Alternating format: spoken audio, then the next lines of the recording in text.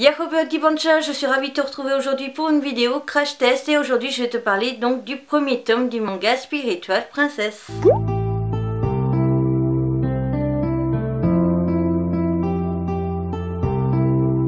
Donc le manga Spirituel Princess c'est donc un manga des éditions Kaze, c'est un shoujo. La série est donc terminée en 12 tomes au Japon pas encore en France vu que le tome 1 est sorti en janvier 2018.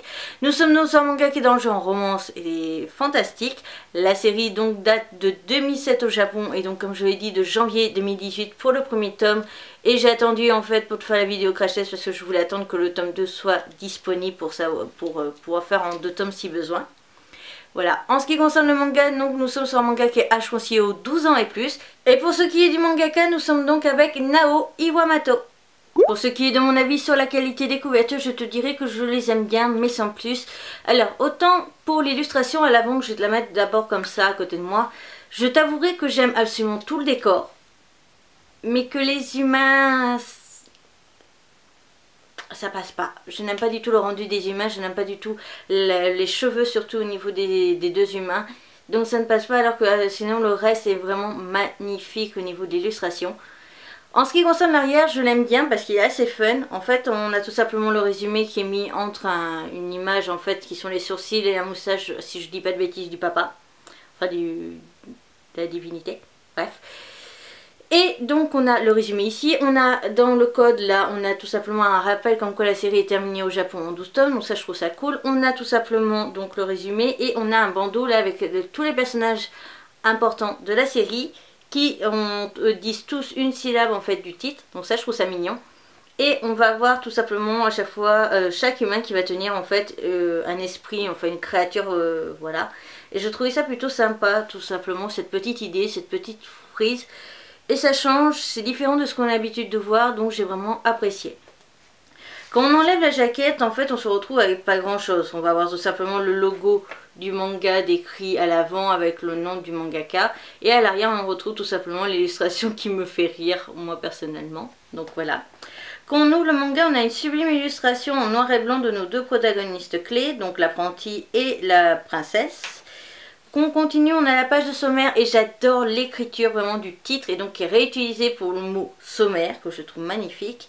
On a donc le sommaire avec tous les chapitres etc. On voit qu'il y a un petit chapitre en plus, la postface et ce que j'aime bien encore c'est qu'on a l'espèce de bandeau à la, en bas avec quatre euh, créatures, donc je sais plus du tout quel nom ça a.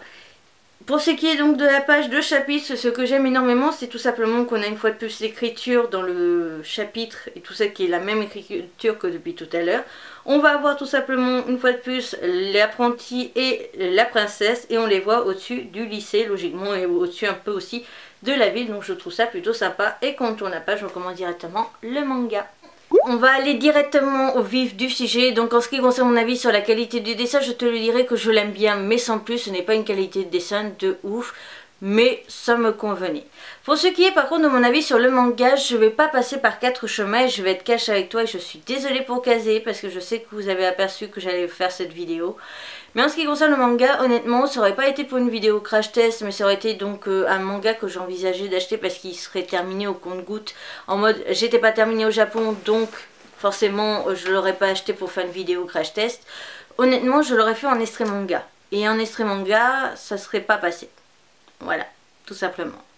Donc je t'avouerai que je ne suis pas allée très loin, je suis allée quand même jusqu'à la page 50, alors que pour un extrait manga, je m'arrête à la page 30 voire 50 vraiment si grand besoin, mais ça a été très très rare les mangas où j'ai dû aller jusqu'à la page 50 pour avoir un vrai avis. Donc déjà, ça la fout mal. Qu'est-ce qui m'a pas plu? En soi, j'ai trouvé que pour l'instant, c'était assez long à démarrer. Mais bon, ça, ça arrive assez souvent. Ce qui ne m'a pas plu non plus, c'était tout simplement que j'avais du mal en fait à comprendre certaines utilisations de mots et qu'à un moment donné, justement, deux personnages essaient d'expliquer pas mal de choses ils sont partis dans des explications, mon dieu, tellement chiantes et tellement ennuyantes que j'ai rien compris du tout. Et que j'avais du mal vraiment à comprendre tout ce que je lisais, à comprendre qui étaient vraiment les personnages, etc. Donc j'ai tout simplement abandonné au bout de la page 50 tout simplement parce que ça ne m'a pas plu et que bah tout simplement je n'ai pas accroché du tout à la série. Voilà, donc c'est la première vidéo crash test où ça finit en foiré mais de toute façon il fallait bien un jour ou l'autre que ça arrive Donc c'était ce manga tout simplement. Donc en ce qui se concerne l'aventure, j'ai oublié de préciser qu'est-ce qui se passe. En fait on suit les aventures d'abord au tout début des trois premières pages d'une femme qui en fait tombe amoureuse d'une divinité, je crois. je sais même pas trop quel genre, de quelle classe ça a, la créature. Et donc elle a un enfant, un enfant donc euh, qui a aussi des pouvoirs et qui n'est pas 100% humaine et c'est plus ou moins ce que j'ai compris. Les parents vivent pas ensemble parce que la divinité doit rester sur sa montagne. Donc la jeune fille va très souvent voir son père, mais il y a un apprenti et patati patata, c'est tout ce que j'ai retenu en fait. Voilà. Donc c'est pour ça que j'avais pas trop envie au départ de faire un résumé parce que je n'ai pas trop trop suivi et pas trop compris. Et pourtant j'étais dans de bonnes conditions pour lire ce manga, je tiens à préciser. Voilà. Le résumé officiel sera bien entendu dans la barre d'infos, je ne t'inquiète pas. La vidéo est donc à présent terminée, j'espère quand même qu'elle t'aura plu et qu'elle t'aura sûrement surtout fait découvrir peut-être un manga qui t'était passé sous le nez parce que j'ai pas trop entendu parler de lui spécialement sur les réseaux et tout ça. Pense à aller me rejoindre donc sur les deux autres vidéos que je te mets en recommandation en cliquant sur ma tête pour t'abonner et n'oublie surtout pas d'activer la cloche pour être informé de chaque sortie de vidéo car chaque mois j'ai un, un rythme pardon, différent et sur ce je te retrouve bientôt pour une nouvelle vidéo. A bientôt